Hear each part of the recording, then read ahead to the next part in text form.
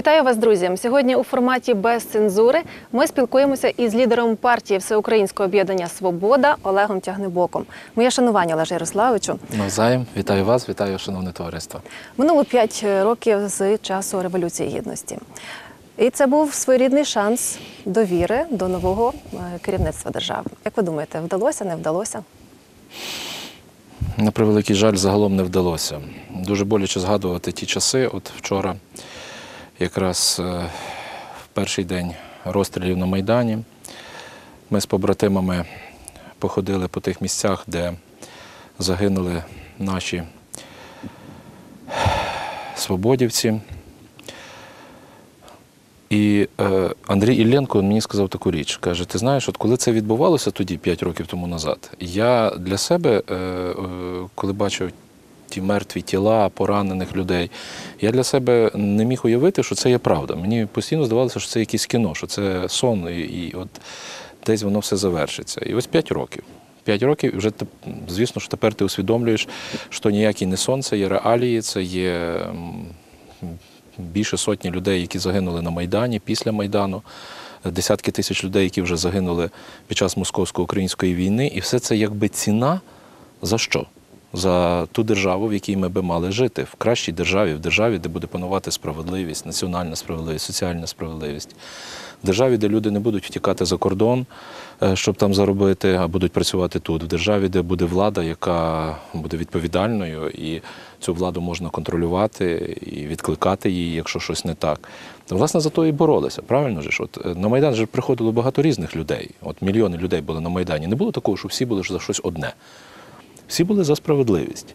І я пригадую, що тоді, під час Майдану, е, було декілька таких основних напрямків, за що люди виходили і за що люди боролися. Це е, повалити режим Януковича. І, до речі, це єдине, що справдилося. Бо наступним пунктом було усунути негативні наслідки чотирьохрічного правління цього режиму. Тобто хотіли нове життя українці. Так, ми мусили змінити те, що протягом чотирьох років робилося: корупція, злодійство, нищення України. Але цього не сталося. Реально за п'ять років не змінилася ситуація. Ну так, як би нам би того хотілося. Ви звинувачуєте Е, владу чи, чи народ? Ні, народ ніколи не звинувачував, і народ взагалі ніколи не можна звинувачувати.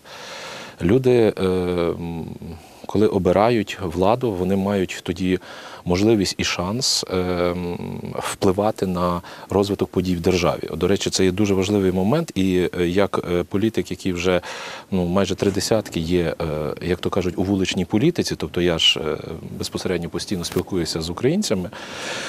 Я знаю, що рівень політичної освіти і свідомості громадян він зріс. І е, це вселяє надію, бо кожного разу, коли відбуваються вибори, є таке розуміння, що такі ці вибори будуть відбуватися правильно, що люди не будуть голосувати постійно, як намагаються зомбувати за менше зло, наприклад, що люди будуть голосувати усвідомлено. Ну так як це робиться в нормальних цивілізованих країнах, до яких ми йдемо. От у вас якісь є погляди, так, на життя. В мене є якісь погляди, в нас є якісь цінності. То, що в нас виховували вдома, е, то, що десь там в школі ми якісь виховання отримали, десь в інших середовищах. І ми повинні обирати владу е, через посередників, а посередники це є політичні партії між нами і владою, які е, думають так само, як ми. Тобто, які хочуть вирішувати питання, виходячи з тих ідеалів, принципів, так як, наприклад, ви собі думаєте, я думаю, чи хтось з наших глядачів. Е, В нас ще на превеликий жаль, ще є от е, така тенденція, що обирають, е, як я на- наприклад, на східній Україні дуже часто чую, кажуть, чого ж ви заголосували за, за цю владу? А мужчина красивий. Обирають емоціями. Вуса в нього хороші, от емоціями, бо він якийсь там, от якийсь такий, що я його там, наприклад, постійно харизматична, що запам'ятався мені. От і люди, люди, багато є таких людей, які не прораховують. А які ж його погляди, які він кроки буде робити, яка його команда, що він робив вчора, чи те, що він робив вчора, чи так, як він як політик, наприклад, діяв, голосував в парламенті, чи, наприклад, висловлювався і чи не в певні е, кроки, е, чи воно відповідає твоїм поглядам. І дуже часто е, потім та емоція спрацьовує зворотньо. Мені не раз доводилося бачити людей, які вчора фанатично агітували за одних, наприклад, кандидатів чи за одні політичні сили, а місяць, два, три після вибору вже Вони були настільки розчаровані, що готові були роздерти тих е, е, своїх обранців. Це все від того, що е, вибір відбувається. Як ви правильно сказали, емоційний, а не е, відбувається, виходячи з, ну скажімо, таких е, чітких переконань. Якщо я є українським націоналістом, значить я сповідую певні націоналістичні погляди в економіці, в соціальних стандартах, в е, національній політиці, в зовнішній політиці. Тобто, в мене є певне розуміння того, як має розвиватися держава. Якщо ти так само думаєш, як я, він ти будеш голосувати за мене, а не за когось іншого. Бо якщо ти голосуєш за когось іншого, який має інші погляди, інші принципи і інші бачення, ну тоді хіба потім на себе е, жалієш, що е, держава не так розвивається, що є от, власне ті проблеми, які, е, з якими ти стикаєшся кожного дня. І якщо дозволите, ще дві, дві, речі скажу, що на початках, тобто не усунуто було е, е, наслідків чотирьохрічного правління режиму Януковича, і те, про що говорилося про реформи і зміна системи влади, вона також не відбулася. І найгірше, що це те, що е, створені умови для реваншу диктатури. Я пригадую, кожного дня під час Майдану говорилося не допустити реваншу диктатури. І в нас зараз склалася така ситуація, що я думаю, що ну ми ж відверта, щира і, як ви кажете, без цензури розмова. Е, Я думаю, що наш глядач усвідомлює, що, наприклад, в жовтні місяці цього року е, така тенденція в Україні склалася, що не 10, а напевно коло сотні депутатів наступного парламенту українського це будуть такі проросійські представники. От або вчорашні представники оточення Януковича, або вже, скажімо, якісь, як вони називають, нові обличчя, але з тими самими поглядами, які будуть відстоювати не ідеали української України, а такої собі московської України. І в тому є трагедія наша, що реванш диктатури таки відбувається. А відбувається через що? Ви задали мені запитання, чи я звинувачую народ, чи я звинувачую владу. Звичайно, що владу. Тому що влада отримує шанс від людей. От на Майдані люди хотіли від влади раз, два, три, чотири, п'ять. Ця влада прийшла, отримала важелі впливу, усі важелі впливу, тому що сьогодні влада є єдина. Що президент, що парламент, що уряд це є одна команда. Правда, вони намагаються перед виборами розіграти таку роль і показати українцям, мовляв, от президент відповідає тільки за зовнішню політику і оборону згідно Конституції. А при чому тут економіка? Президент до економіки не має ніякого відношення. Ну, а даруйте, будь ласка. А хто має відношення до економіки? Уряд. Чудово. А хто цей уряд обрав? Цей уряд обрав парламент.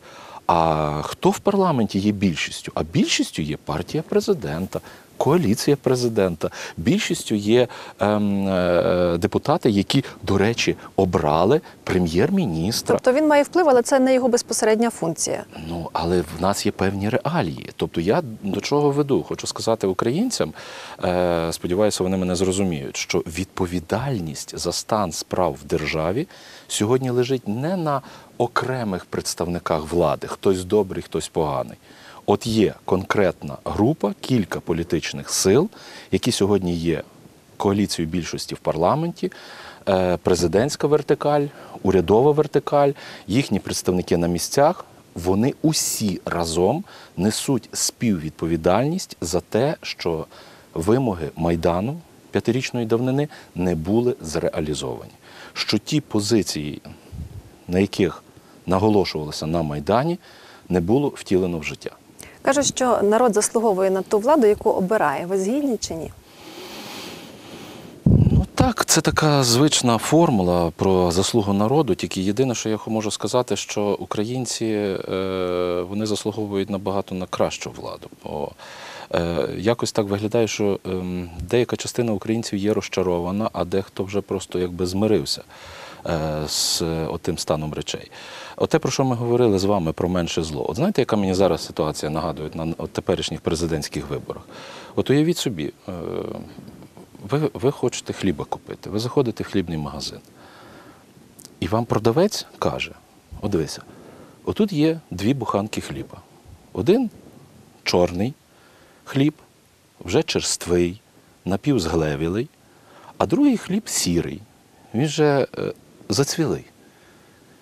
Але ти мусиш купити або той, або той. Бо без хліба ніяк. Бо без хліба ніяк. А я кажу, чи покупець каже: почекайте, а дивіться, а отут на тій полиці свіженький батон, білий, е, ще пахне, він е, свіжісінький.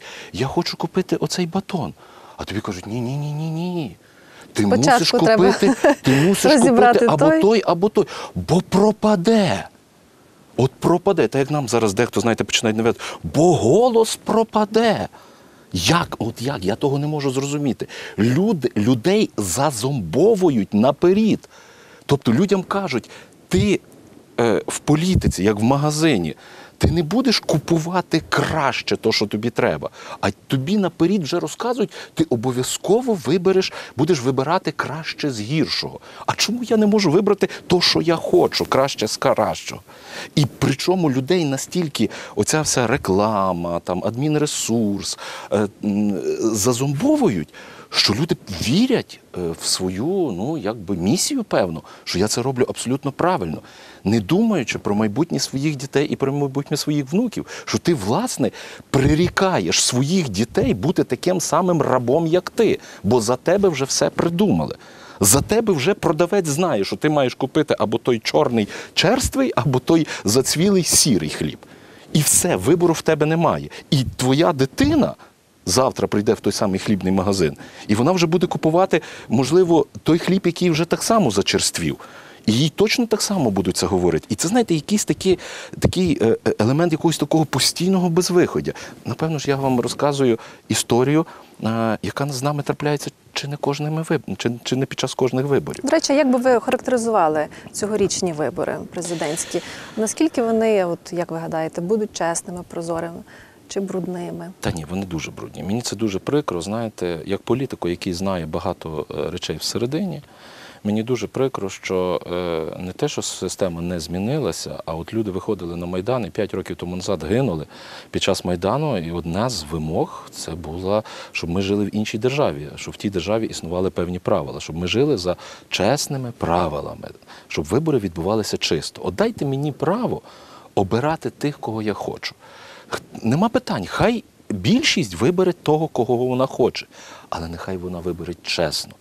І моя повага, навіть якщо я не голосую за того, за кого теоретично голосує більшість, буде до цього президента чи до цього парламенту, тому що я розумію, що його обрали чесно. Але коли ми вже чітко знаємо, що То ви вже наперед знаєте, вже що вибори зараз- будуть не- нечесні. Та це вже, ну ж ви бачите, що твориться зараз. Тобто ми вже знаємо, що голоси купуються. Одні кандидати дають 800 гривень, одні У вас кандидати дають дані тисячу. так? Абсолютно, абсолютно. Йде масова скупка. Одні дають вже по півтора тисячі гривень. Тобто е, створюються якісь такі прецеденти, е, що заключаються якісь договори. Е, З виборцями е, і от зараз масово, тож інформація зі всіх е, зі всієї України сходиться, що зараз дають 500 гривень. Тобі вказівка, що ти маєш привезти ще таких 10 е, виборців, які підпишуть такий самий договір, і тоді за кожного виборця ще по 100 гривень отримаєш. А як вибори закінчаться перемогою кандидата нашого, значить він відповідно ще заплатить вам ще по 500 гривень. Тобто твориться, твориться просто ну фактично зовсім протилежне від того, чого вимагав майдан. І е, до речі, принагідно я хочу вам сказати, що ми е, опинилися в такій ситуації, що навіть висуваючи там е, свого кандидата, ви знаєте, що об'єднані націоналісти мають свого кандидата. Ми розуміємо, що нам потрібно не тільки зараз агітувати за нього, виходячи з норм українського законодавства, е, розказувати про його програму, біографію, але нам доводиться працювати над тим, щоб зберегти демократичні принципи і добитися права, щоб е, вибори відбулися чесно. Ми навіть от принагідно скажу, е, що цієї неділі, 24 ем, е, лютого, в Києві на Майдані Незалежності о 14-й годині ми збираємо вічі гідності. Воно так і називається за чисті вибори. Е, Там буде багато представників різних е, громадських організацій, активістів будуть, які власне будуть говорити про те, що майдан вимагав іншого. Революція, яка би передбачала зміну системи влади, вимагала би е, від суспільства тих певних змін проведення ну справедливих чесних виборів, а не адмінресурсу, скупки голосів і так далі. Олеже Ярославовичу, але погодьтеся, якщо громадян продає так, свій голос, то отже не тільки влада винна. А, Якщо влада його що ж ніхто зробила? не Я вам скажу, в чому вина влади. Якщо він дає тисячу, отримує тисячу гривень за свій голос, чи Я там вам скажу, дві в чому є вина влади. Вина влади в тому, що влада довела українського громадянина до стану зубожіння. Влада, яка є по суті олігархічною, вона знищила таке поняття, як середній клас. Бо представник середнього класу голос не продає. От в Європі, в нормальних цивілізованих країнах, середнім класом є 60, 70, а то й 80% мешканців від працюючого населення. В нас в Україні Десять. заледве 4 Чотири. сьогодні. Заледве 4. Але навіть якщо 10, ви розумієте, що це є дуже мало, це є нереально мало. Бо якщо ти є представник середнього класу, ну, по-перше, за тисячу гривень ти не купиш. По-друге, ти вже маєш роботу. Ти з тої роботи маєш достойну зарплату. Ти з тої зарплати можеш забезпечити освіту дітям, нормальне харчування для своєї сім'ї, дах над головою, відпустку раз або два рази в рік достойну для своєї родини. Тобто ти вже думаєш головою. От середній клас голосує за свободу. Нам це дуже є вигідно, і тому ми є зацікавлені в тому, щоб середнього класу було якмога більше. Вся соціологія показує, що за, за нашу політичну силу, за нашого кандидата голосують ті, хто думає, думаючи виборці, той, хто читає програму, той, хто розуміє, що можна очікувати від цієї політичної сили. Владі ж вигідно людей довести до стану зубожіння, перетворити їх на бідняків, рабів, і тоді вони голосують за гречку. Тоді вони дякують за е, тисячу гривень, навіть е, умовних, ті, які їм десь хтось обіцяє. Тоді голосують за фляжку горілки. Тоді голосують за якісь там інші преференції. Розумієте? Тобто, от в тому владу ми звинувачуємо, що вона довела Україну до стану е, зубожіння, що в Україні є категорія соціальний прошарок людей, які здатні е, продавати свої голоси. Бо насправді, от що ми будемо говорити на тому вічі 24 числа? Той, хто купує голоси, і той, хто продає голоси, це є основний ворог суспільства. От для мене ворог, я думаю, що і для вас ворог, і для пана оператора, сподіваюся, ворог є. Чому? Бо ми хочемо, що ми, ми хочемо жити в нормальній, справедливій, чесній державі. Я хочу знати, що мої діти, мої внуки, вони не будуть е, в тому багні коперсатися, що вони будуть просто мати реальні права, яких будуть ем, за які ті права закон буде захищати. Отже, я маю шляхетну мрію. І ви, може, її маєте так само. Нормальна, красива, цивілізована правова держава. А от ті, хто продають і купують, вони гальмують процес до цієї держави. Ну, дивіться, от я їм що хочу сказати тим людям, які вже психологічно готові продавати свій голос. Хочеш продати свій голос? Так, чоловіче добрий, продай свою нирку. Більше заробиш. Хочеш продати свій голос? Тіло своє продай. Набагато більше заробиш. До речі, як зупинити Прода... Хочеш продати свій голос? А от дитину свою продай. От продай свою дитину. Набагато більше заробиш. Тобто, якщо в тебе така психологія, що ти готовий продати свій голос, прошу, продавай. Я вам більше того хочу сказати. Ми зараз навіть обговорюємо питання, ну то як для дискусії, дискутивне питання. Але от наші депутати зараз напрацьовують свободівці законопроект, який е, дозволить купувати голос держави. Хочеш продати свій голос? Прошу, держава купить в тебе той голос. За комерційною ціною. Навіть в два рази більше. Зараз продають по тисячі гривень, держава купить за дві тисячі гривень. Але ти, продавши державі свій голос, ти втрачаєш певні громадянські права. Ти не будеш мати права обирати владу, ти не будеш мати права бути обраним до влади. Ти не зможеш працювати членом комісії, там, ем, ти не будеш мати права працювати на державних посадах. Різ... Ну, якщо ти хочеш продати, тобто ти продаєш свій голос, ну продай офіційно. Тоді ти продаєш всі свої права як громадянина. Добре, ти маєш якісь там інші права, так ти ну, продай ті права. позбав, позбав нас з вами, тих, які хочуть кращого життя, фактично бути залежним від тої армії тих злиднів, які готові сьогодні продавати ці голоси. Розумієте? Тобто, може, може ми таким шляхом підемо? До речі, як от е, гадаєте, призупинити корупцію в Україні треба відрізати е, там вгорі чи в долині?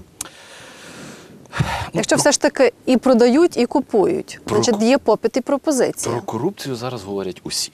То є дуже модна штука. Коли зробити будь-яке соціологічне опитування, зразу видно, що от боротьба з корупцією це там чуть чи не перші м, е, е, планки е, м, е, соціологічних опитувань. Народ про це говорить. Ем, Є причина, а є наслідок. Я вважаю, і так вважає свобода, що корупція в Україні не є причиною, це є наслідок. Тому як колишній доктор можу вам сказати, для того, щоб вилікувати хворобу, треба е, в першу чергу знищити причину. В українському випадку причина корупції це є існування олігархії як класу. Що таке олігархія? Олігарх це не просто заможна багата людина. Олігарх це є зрощення державної влади, криміналу і великих грошей. Отже, ці люди, які в своїй особі є тим таким трьохголовим змієм, це є величезна проблема для України. Чому? Бо олігарх він є сьогодні власником української держави і українців як таких. Олігарх не тільки є власниками ем, е, там, засобів масової інформації, е, через які вони зумбують людей, е, футбольних клубів, через які вони просто розважаються, бо це так модно, великого бізнесу. Причому олігарх зазвичай є монополістом, що є дуже неприйнятливо, особливо для теперішніх умов в Україні. Але олігарх є власником влади. Олігарх вже купив сьогодні посади собі від суддів, прокурорів, е, керівників поліції до, звичайно, депутатів, від народних до там найменших сільських депутатів. І от олігарх собі сидить і йому є добре. Він має ручних депутатів, він має е, свою фракцію в парламенті, він має кілька своїх міністрів за своєю квотою. Він має людей в судах, він має людей в прокуратурі, і він собі не тільки унеможливлює е, відкриття кримінальних проваджень і е, засудження його за його злочини, але він контролює владу. А контролюючи владу, він фактично має контроль над бізнесом.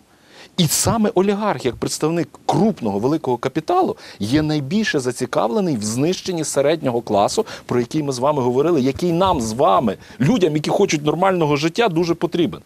І тому олігарх створює умови, коли є олігархи і є бідняки. Тобто причина корупції олігархат, на вашу Причина думку. корупції є олігархія, і для того, щоб її знищити, бо олігархові корупція вигідна, він рішає питання з усіма від найнижчого рівня до найвищого через корупційні схеми.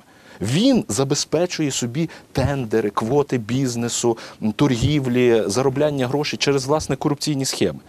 І для того, щоб знищити корупцію, як наслідок, треба як бур'ян зрізати оцю причину. А причина олігархія. Свобода подала вже в парламент так званий антиолігархічний пакет докорінних перетворень. Це є е, більше десятка законопроєктів економічного і політичного характеру, ухвалення яких позбавить контролю олігархів над владою. Я вам більше того хочу сказати.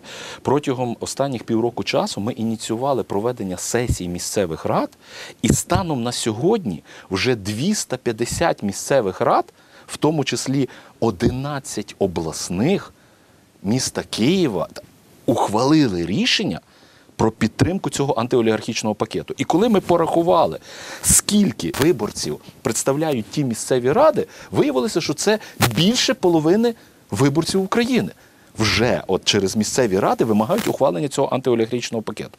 Звичайно, теперішня влада, яка є суцільно олігархічною, цього не хоче робити і навіть не хочуть виставляти питання на голосування в парламенті, незважаючи на те, що наші депутати-свободівці зібрали вже 151 підпис навіть діючих депутатів, які кажуть, треба винести це питання на голосування. Але вони того не роблять. Тому що там питання про деофшоризацію, повернення коштів з офшорів, там питання про про демонополізацію. А як, якщо вони візьмуть, проголосують про демонополізацію, так олігарх, їхній власник, їм шию скрутить, бо його ручний депутат взяв та й проголосував за демонополізацію. А демонополізація зразу збиває заробітків олігарха, а навпаки починає формувати середній клас.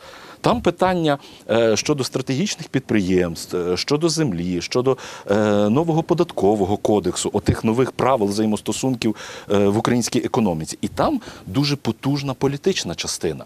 Бо ми владу не тільки маємо обирати, от зараз напередодні виборів важливо про це говорити. Нам потрібно мати з вами, як громадянам, механізм відкликати ту владу.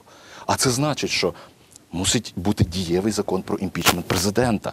І коли людина, яку ми оберемо 31 березня, стане президентом країни, ну 31-го не оберемо, бо очевидно, що буде другий тур, там ще невідомо, як воно там станеться і таке інше. А потім парламент, коли ми будемо обирати, то, наприклад, людина, яка стане президентом, має усвідомлювати крок вліво, крок вправо, імпічмент до побачення.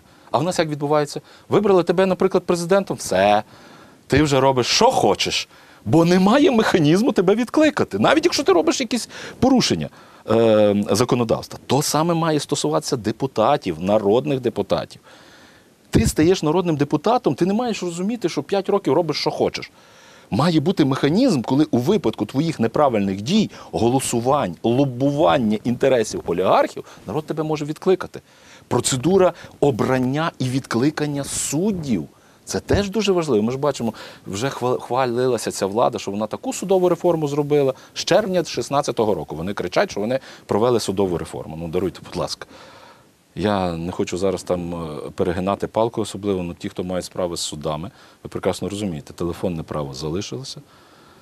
Е, корупція шалена в судових органах. Ну, ви бачите, от навіть останні такі гучні рішення, які ухвалюються, ну це, ну, це просто жах. От, на, от останні, коли відпустили цього представника поліції, який е, бив е, мітингувальника з криками Бандера лежать. Уявляєте, п'ятий рік війни іменем Бандери називають вулиці сьогодні. 227 місцевих рад проголосувало за вивішування на державні свята червоно-чорних прапорів. До речі, е, принагідно скажу, одна з перших рад це було місто Тернопіль. От молодці показали приклад. І після Тернополя, отого чудового прикладу Тернополя, коли е, по Тернополю майорять е, разом з синьо-жовтими червоно-чорні прапори, ви собі не повірите, але приклад, Тернополя надихнув інші міста. Ви знаєте, хто проголосував? Я вам зараз скажу: Сумська міська рада. Полтавська міська рада, Первомайська міська рада Миколаївської області, Ніжинська рада, Прилуцька рада е, Чернігівської області. У нас зараз е, е, голосування по червоно-чорних прапорах в основному це центральна східна Україна. Завдяки, от, в тому числі Тернополю, Івано-Франківську, які стимульнули цей процес. Що це значить?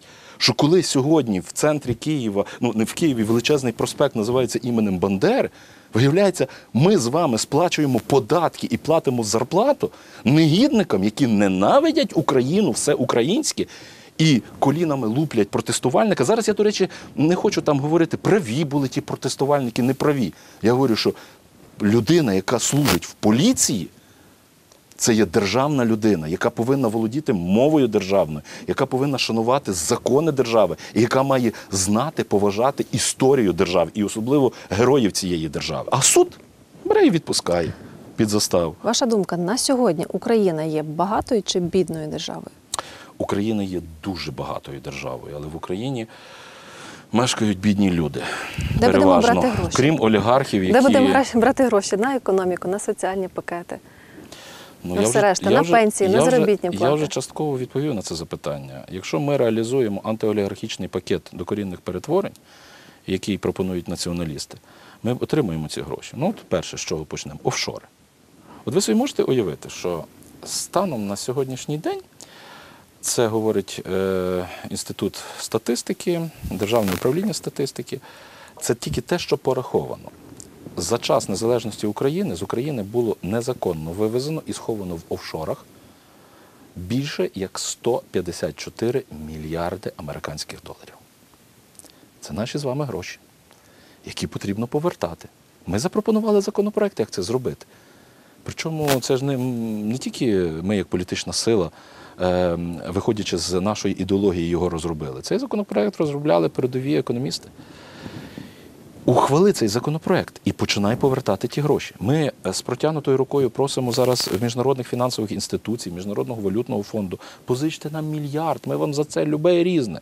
Землю продамо, пенсії будемо знижувати і пенсійний вік підвищувати. Позику взяли, Міжнародний валютний фонд дав, але Ну, натомість ви ж- під- під- але- підвищили тарифи. Та, але так, ж от правильно, тобто обманули. Обманули. От ви розумієте, що от я теж говорю, що в чому, от, от е, ми з вами починали говорити про виборця українця, який іде голосує за владу. Він думає, що буде ілюзія якась, ніби позитив, а потім ця влада його просто тупо обманює. От, наприклад, з міжнародним валютним фондом іде суцільний обман. Причому, що я вам порекомендую? Зайдіть на сайт Міжнародного валютного фонду. Просто прочитайте. Ще краще, як ви зайдете на англомовну версію. Якщо володієте англійською мовою, чи когось там попросіть, хай вам- хай вам перекладуть. Там чітко і ясно написано: це не вимоги Міжнародного валютного фонду до України. Це є пропозиції української сторони до Міжнародного валютного фонду Тобто як гарантія, що гроші повернуть. Звідки будуть брати Правильно. гроші? От ви е, позичальник, е, а я той, хто вам позичає. Ви до мене приходите і кажете, Міжнародний валютний фонд. Я Україна. Я хочу в тебе позичити гроші. Я кажу, нема питань. Я тобі готовий позичити гроші. Але скажи мені, будь ласка, я хочу побачити, чи ти е, зможеш мені їх віддати. Механізм Чим ти, чим ти взагалі займаєшся? От ви, наприклад, коли до вас хтось приходить і просить позичити гроші, чи з родичів, чи з сусідів, чи знайомих, ви ж як оцінюєте? Якщо це якийсь пиячок, чи наркоман, чи ще хтось інший соціально там неадаптований тип, ви ж йому не позичите, правильно гроші? А якщо ви знаєте, що ця людина здатна вам повернути, ви йому позичите. І тому я, як умовно міжнародний валютний фонд, вам кажу: намалюй мені схему, як ти заробиш. І в мене вимога до тебе тільки одна щоб в тебе дебет з кредитом співпадав. Тому вимога Міжнародного валютного фонду до України тільки одна: щоб ваші видатки не перевищували державного бюджету, не перевищували то, що ви заробляєте. І що каже тоді українська делегація з нашої чудової влади? Ми пенсійний вік підвищимо, щоб люди не доживали до пенсії не будуть доживати до пенсії, ми зекономимо гроші. От вам механізм, де ми заробимо ті гроші. Ми землю продамо сільськогосподарського призначення. А що? Ми зараз продамо, і ми таким самим чином перекриємо дохідну частину бюджету. Ну, ви розумієте, це є повний абсурд. І Міжнародний валютний фонд слухає і каже: та добре, якщо ви так хочете, ви це пропонуєте, підписуйте. І вже коли українська сторона підписує ці умови, звичайно, потім приїжджають делегації, інспектори з Міжнародного валютного фонду і кажуть: а ну виконуй. Ти ж мені обіцяв, що ти ціни на газ будеш піднімати, що ти тарифи будеш піднімати. Це не я тобі пропонував Міжнародний валютний фонд. Це ти мені запропонував, Україна, що я перекрию дохідну частину бюджету підняттям цін на газ.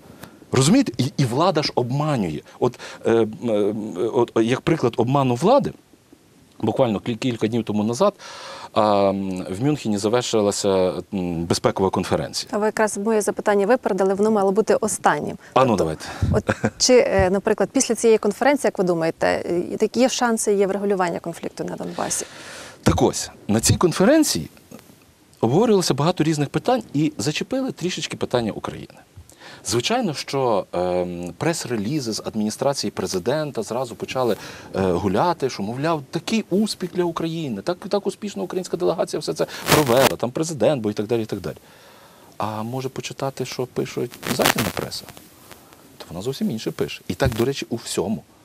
Нас просто дурять. Виявляється, Україна взагалі не стоїть в порядку денному сьогодні європейської і заокеанської політики. Ми вже стали нецікаві. Ми не цікаві сьогодні. Вже те, що відбувається зараз в Україні, воно не є першим номером. На превеликий жаль, це якраз демонструвалося і під час Мюнхенської конференції, як приймали нашу делегацію, з ким зустрічалася наша делегація, і які результати власне отих перемовин. Окрім Ангели Меркель, яка піднімала це питання, і то дуже, знаєте, в такому, я б не сказав, що зовсім про українському питанні. Ну, суть її виступу е, полягала в тому, що, мовляв, е, ну а що тут такого? Чого ви на нас всі накинулися? Пам'ятаєте той скандал між Трампом і Ангелою Меркель, коли він казав: Ну як ми, Америка, е, фінансуємо НАТО е, зараз е, весь світ е, в протистоянні з Московією, в тому через числі через конфлікт е, в Україні. А ви, Німеччина, хочете в них газ купувати. Тим самим ви даєте їм можливість заробити, щоб вони що потім на ті зароблені гроші вкладали в війну. І от Ангела Меркель в контексті України говорить, а нічого такого не є. Я пам'ятаю, вона говорить, що коли я була ем, в е, Німецькій Демократичній Республіці, то як НДР, Німецька Демократична Республіка, так і Федеративна Республіка Німеччини успішно купували е, е, газ з Радянського Союзу, і, ні- і воно якби не впливало на політику. То чого ви зараз нас там шарпаєте за отой Північний потік 2 Тобто бізнес бізнесом, а політика політикою, а типу Україна, хай вона собі там вирішує свої питання як хоче. І от в тому контексті, ви ж знаєте, про що вони говорили. Вони сказали, що можна заморозити конфлікт, можна запропонувати хорватський сценарій, можна запропонувати ем, е, сценарій е, там е, на, на, на, на російських умовах, тобто те, що зараз е, Путін вимагає. От і все для України. А насправді основне питання для світу і для України геополітичне щодо Московії, нам треба розвалити Росію зсередини. Ні одна річ позитивна для України не буде вирішена до цього часу, поки не просто існує путінський режим, а до цього часу, поки на тій великій території, яка називається Російська Федерація, не появиться 20-30 маленьких держав. Оце має бути геополітичне завдання як України, так і цілого цивілізованого світу. Тільки після того ми зможемо повернути свої території і поставити Москву в ті рамки, в яких вони повинні бути. Ви за візовий режим з Росією? Ми подали законопроект про введення віз е, з Російською Федерацією е, в квітні 2014 року, коли почалася війна. І повірте мені, якби тоді послухали свободу і ухвалили це рішення. Я думаю, що можливо вже війни сьогодні би не було, як і за розрив дипломатичних стосунків. Звичайно, що за візовий режим і найжорсткіший візовий режим. Нікого туди не впускати. І, до речі, я би е, дуже жорстко я ставлюся і негативно до тих людей, які оправдовують своє заробітчанство в Московії. Я не говорю навіть не тільки про простих робітників, а про всіх тих акторів, е, шоуменів, спортсменів, які їздять там на заробітки. І коли вони ще даруйте, розказують, а мені сім'ю треба годувати. Ну то вже це вже просто перегинають палку. Це вже це вже є зневага до всього українського. І коли вони ті музиканти розказують, а це е, е, мистецтво поза політикою, тому я їду на гастролі е, в Росію. В нього, вибачте, мозги поза політикою в такому випадку, якщо він так ставить питання. Якщо ми хочемо перемогти московського кремлівського ворога, який завжди є для України ворогом, нам треба реально досягати миру через перемогу на умовах України, а не в будь-якому іншому випадку. Олеже Ярославовичу, це вже було останнє запитання. Я вам дякую за відвертість Я і за участь за у нашій програмі. Дякую всім, хто приєднався до перегляду без цензури. І спасибі, що довіряєте нашому каналу з побажаннями миру, добра. Я прощаюся з вами до наступних зустрічей. Нехай щастить. До побачення.